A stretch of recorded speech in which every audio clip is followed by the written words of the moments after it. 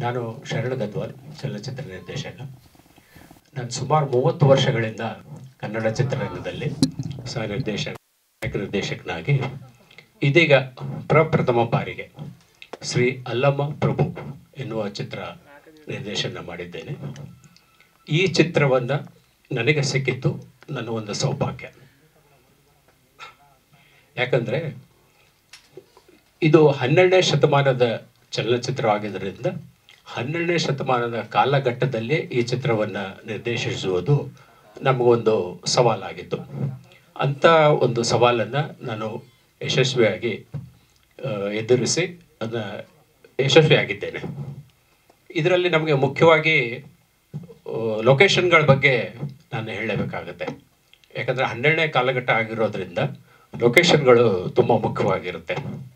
ಅದರಲ್ಲೂ ಹನ್ನೆರಡನೇ ಶತಮಾನದಲ್ಲಿ ಶ್ರೀ ಅಲ್ಲಮ್ಮ ಪ್ರಭುಗಳು ಮದ್ದಳೆ ಬಾರಿಸಿದಂತಹ ಸ್ಥಳ ಮತ್ತು ಮಾಯೆ ನೃತ್ಯ ಮಾಡಿದಂತಹ ಸ್ಥಳ ಇರುವುದು ಬನವಾಸಿಯ ಮಧುಕೇಶ್ವರ ದೇವಸ್ಥಾನ. ಇಲ್ಲೇ ನಾವು ಚಿತ್ರೀಕರಣವನ್ನು ಮಾಡಬೇಕಾಗಿತ್ತು.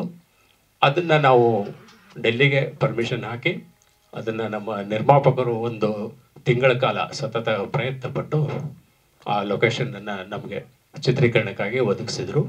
ಅಲ್ಲಿ ಚಿತ್ರೀಕರಣ ಮಾಡಿದ್ದು ಈ ಚಿತ್ರದ ಒಂದು ಹೈಲೈಟ್ ಅದೇ ಥರ ನಾವು ಸಿರ್ಸಿ, ಸಹಸ್ರಲಿಂಗ, ತೇರದಾಳು, ಅದ್ರ ಸುತ್ತಮುತ್ತೆಲ್ಲವನ್ನ ಚಿತ್ರೀಕರಣ ಮಾಡಿದ್ದೇವೆ.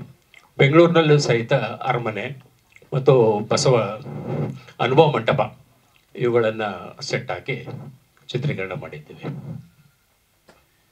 ಆಮೇಲೆ ಇದು ಅಲ್ಲಮ್ಮ ಪ್ರಭು ಅಂದ ತಕ್ಷಣ ಇದು ಬರೀ ಭಕ್ತಿಯ ಪ್ರಧಾನ ಚಿತ್ರ ಅಲ್ಲ.